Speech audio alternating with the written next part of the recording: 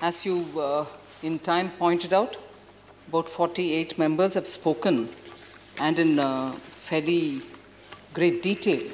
And therefore, I would think it's my honor to be here and uh, respond to many of the observations made by the honorable members.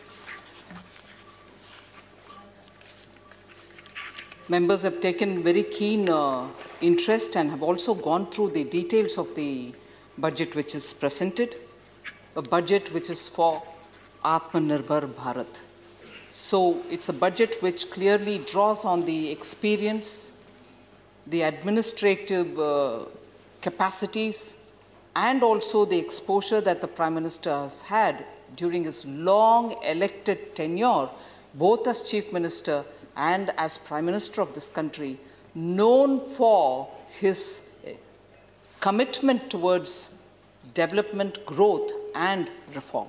So these three things are essentially infused in the budget, which is now speaking for itself in the sense it is the instrument through which Atmanirbhar Bharat is to be attained.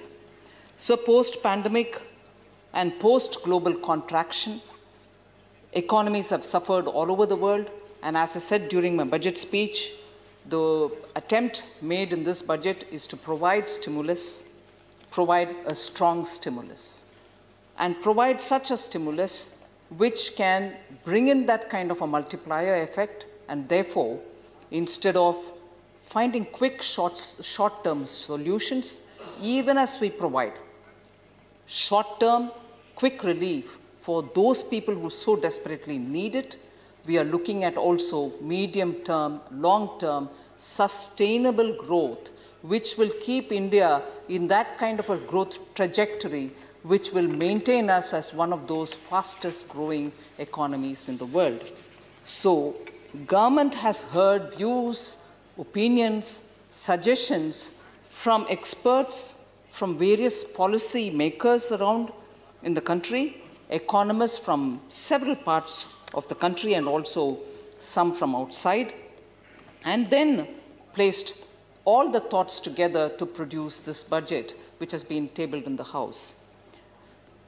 Building an Atmanirbhar Bharat actually reflects the aspiration of the, of the people of India, 130 crore people of India, many of whom, two-thirds of whom are youth who are looking for opportunities, look, looking for dignified ways in which they can live their lives, contribute towards building of this country, and therefore are looking not merely for just assistance from government, but also facilitation and building of such ecosystems with which they can contribute to the economy. So the stimulus is for revival and systemic reforms that e even during the pandemic that the Prime Minister has taken up and those reforms are the ones which are going to sustain the growth, sustain ease of doing business, and sustain India as the leader in terms of entrepreneurial skills.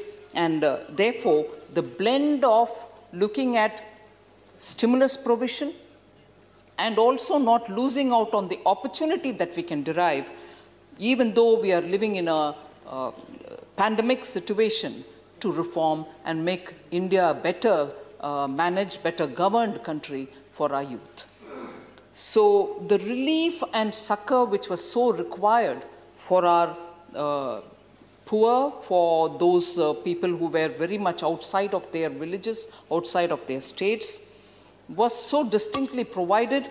I think many of us have observed it, many of them have been repeated, but it is worth mentioning just once that 800 million people were provided free food grains, free cooking gas were provided for 80 million people, and cash directly was given to 400 million people, farmers, um, women, Divyang, and also the poor and needy.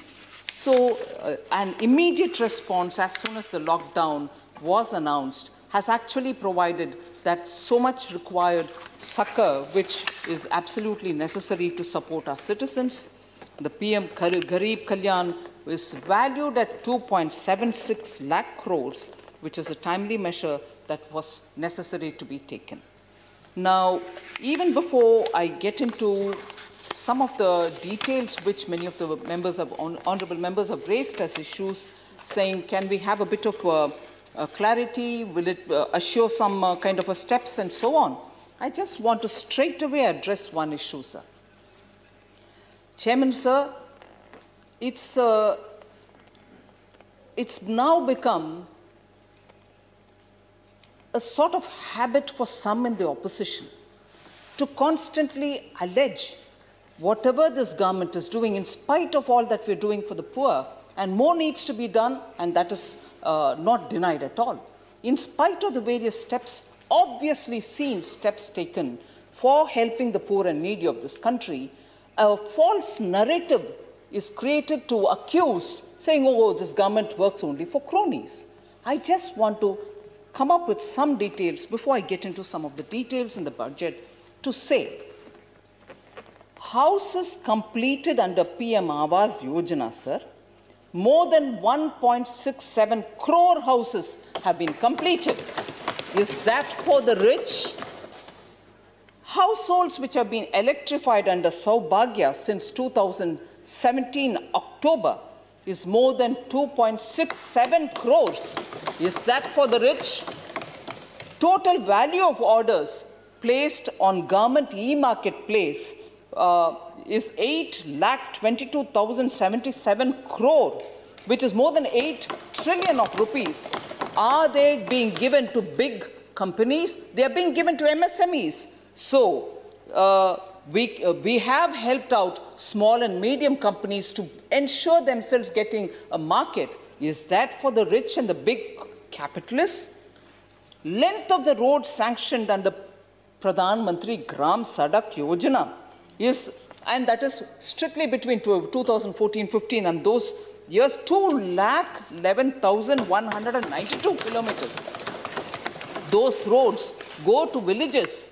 Are they villages only for the rich or are they villages where people who belong to the lower sections of the society also live?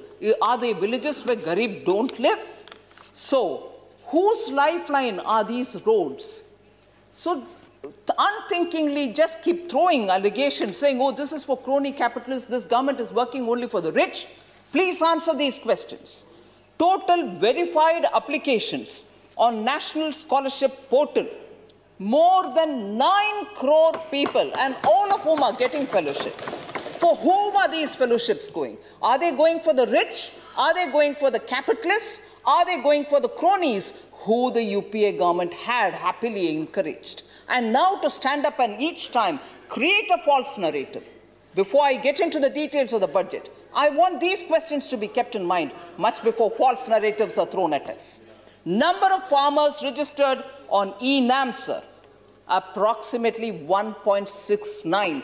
eNAM was thanks entirely due to the Prime Minister's effort to make sure that the farmers are connected all over the country and he's not constricted by the local markets. If he has opportunities better anywhere else, he should have it. Are these farmers rich corporate farmers? No, not at all. They are the small farmers. Number of digital transactions sir, via UPI from August 2016 till January 2020 more than 3.6 lakh crores. UPI is used by who? The rich? The corporate? No, not at all. The middle class, the smaller traders, all of them use UPI. So who are these people then? Is this government creating UPI, facilitating digital transactions to benefit some rich cronies, some damads? Not at all. It is helping only the poor. Number of farmers registered, sir, under PM Fasal Bima Yojana, almost 9 crore farmers. Farmers who benefit out of Fasal Bima Yojana are not large corporate farmers. So, when you allege us saying you're not taking care of uh, small and medium-sized farmers, Prime Minister, while standing and speaking in response to the debate on presidential address, spoke extensively about small farmers. And I want to remind you of this number, which is the number which benefits from PM Fasal Bima Yojana. For whom is that? loans sanctioned under Mudra Yojana More than 27,000 crores have gone under the Mudra Yojana. Who takes Mudra Yojana? Damads? Therefore, please, don't you allege us much before. Please please देखिए किसका हो रहा है यार ठीक है Sir, please अब बैठ जाए किसी का नाम लिया नहीं उन्होंने अननेसरी आप क्यों फोर्स करते हैं? Sir Damad, I didn't think I a trade back of the Indian National Congress. Please दामाद No. हर घर में होता No. है अगर दामाद Indian on national record. Why are you Congress wasting your energies? Specialised नाम है No, no, that is not be disturbed about Damas. परिवार। Let us go up with our district. please. चले आपका रिकॉर्ड में नहीं जा रहे आपका वोकल कार्ड खराब हो जाएगा please thank you sir Sir, total number of beneficiaries under PM Kisan Samman Nidhi Yojana, 6,000 rupees directly through the direct benefit transfer to small and medium-sized farmers. 11 crore farmers have received PM Kisan Samman Nidhi Yojana. I can go on like this to say enough and more evidence exists on. No, it's not enough. You don't have the patience to hear more. No, he is satisfied, ma'am. You continue. So, yes, sir. He is, But ah, saying he's satisfied. sometimes running commentaries are useful to remind, sir. Yeah. Don't worry. So, this government's efforts with credible proof of who the beneficiaries are, which are the major schemes, and therefore, when the budgetary provisions are made, it is made for the poor, Dalits, tribals, and the students who need desperately all the benefits. And therefore, if you want to speak out, Ujjwala Yojana benefited how many women? And we've extended it to one more crore women for whom that Ujjwala will be delivered.